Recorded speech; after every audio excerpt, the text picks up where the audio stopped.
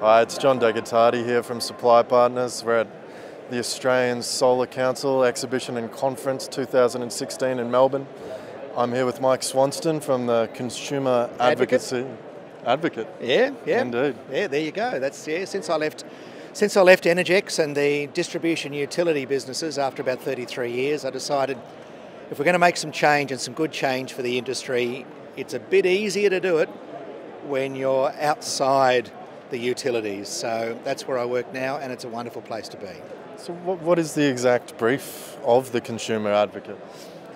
It's interesting. My background is utilities. I was in network planning, network operations, strategic management. But then you come to the realization that it's all about customers. They're the people that pay the bill, they're the people that use the energy, and unless you can understand and relate to those customers, we used to call them consumers, yep. then it's a tough slog for any business. So my interest is really trying to join policy, particularly regulatory policy and government policy, with the capability and the technical and the reality of a distribution business. And then what does it mean to a customer? What am I buying? What am I paying for? So uh, you've started this business yourself to, yeah. to, to put, put these these moving parts of the entire energy yep. industry together. That's the sort of thing I saw when I was working in utilities. Is I'm thinking, do we understand well enough what it, the reality is in a customer's mind? And by a customer, I don't mean a generic one. I'm sort of talking at the whites of the eyes of mum or dad or the, the people that run the small business down the street. They get an electricity bill every three months, or they're being bombarded with you need storage, you need solar, you need batteries. Then you've got governments talking about prices and tariffs. There's a lot of stuff going in behind all that, but ultimately it's got to make sense to real people. And that's where my job comes in. It's something I thought that I could be helpful at, and that's what I do. Certainly, in your days of the utility, you were always the um, most considerate of, uh, of supporters of, of industry at that time, and understanding that um, you know we were an emerging, um, um I, I, I, guess. Uh, you know player or, or facet yes. within oh, the yes, energy yes, mix, and and you were respectful of that, which which naturally as industry we're appreciative of. Um, now moving into this this this freelancing, this, yeah, freelancing. But I mean, I mean, you. It's an extremely important role, but I mean, you you how are you going to achieve it? I mean, surely you must love banging your head against a wall in some ways. It's, it's not without its challenges, John. There's no doubt about that. And of course, I, I still refer to myself as being on a gap year and not necessarily a consultant. I have particular views about consultants, but anyway. But it's a, it's a fight worth fighting. Yeah. It's a pity it is a fight, um, but everybody has different views on what's important to them. Utilities have a very important role in security and reliability of supply, and there's a lot of money tied up in that. And also, utilities are encouraged and almost rewarded for being somewhat conservative. Yeah. And you go, okay, but then you've got disruptive industries, new technologies, of which this is a perfect example storage, batteries, rising prices, customers themselves are now disruptive. So you've got all these different things that you've got to say, well, the answer lies in all of it playing well together. There's a new normal that sits there somewhere. How do we work together to find what that sweet spot is when we move forward into a new industry and a new world? And that's that's what, what I love. It's a, it's a great place to be. You've got governments that are saying we have a policy that we'd like to do something like this. Then you've got a utility saying, but there's a whole bunch of technical reasons or commercial reasons why that we don't think that's a good idea. Then you've got customers saying, well, hang on, I saw this on TV. What does it mean?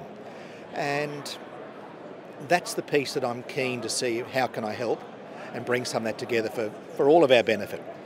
It's a, it's a significant amount of moving parts. Um, um, you know, uh, you kindly call us, I suppose, a disruptive industry um, uh, in, the, in this renewable sector, for which, um, you know, we, we uh, I suppose, an industry see us as um, part of part of a potential energy mix, yes. and, and we're becoming that. Um,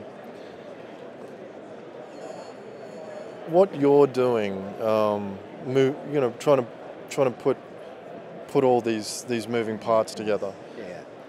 How it's, do you see how do you see it coming together? Like in a utopian, you know, in Mike Swanston, utopian outcome. Um, two years' time, what's going to occur?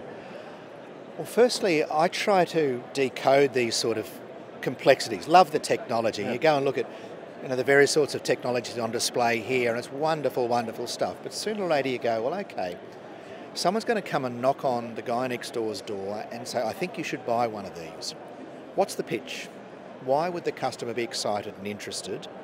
And in what environment are they going to look at that product or article? There's no doubt change is necessary. Know, the way we're looking at load factors and asset utilisation in dis- distribution land, we're looking at the drive for retailers to be looking for new products and services. The potential energy, the coiled up spring for change is there. And in that potential for change, you walk around here and look at where technology has gone. And one of the great things about this display and this, this, this conference um, the last couple of days, as I mentioned to a few of my colleagues, it's not just do you want to buy some hardware, do you want to buy a panel, do you want to buy an inverter. It's now moving to do you want to buy a solution, a solution to rising prices, a solution to, to being more green and carbon focused, um, to being more energy aware. Do you want to buy a solution? And that's great stuff. So what I try to do is lift that stuff up into a very simple, what does that mean when someone comes and knocks on the door and says, I think this is the product for you? The piece that's currently taking a lot of my work and a lot of my time at the moment is understanding utility tariffs. Because if I'm going to buy a car, my hmm. decision is, has got a lot to do with the price of the alternative. Yeah. So when I look at what's going through customers at the moment with rising prices and things, where does this stuff, batteries, storage, new energy solutions, demand management Opportunity sit cost, with on investment. Yeah. where utilities are going? And again, there's a potential energy in there. Utilities, no changes afoot. Regulators, no changes afoot. The fascinating thing I'm looking for at the moment is what's going to be the trigger that suddenly makes all the cats want to jump in the wheelbarrow. They're all milling around at the moment. Yep. Technology capability, the new designs that we're seeing in solutions, tariffs have to move customers are saying, I've been really distrustful and disempowered by pricing changes.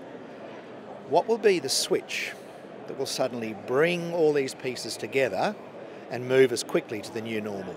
That's the bit that I wander around here and you look at the technology, you talk to the people, but that's the thing that's going through my head at the moment is what's going to make it suddenly all come together? I think it's um, um, a very, very interesting scope scope of work that you've taken on.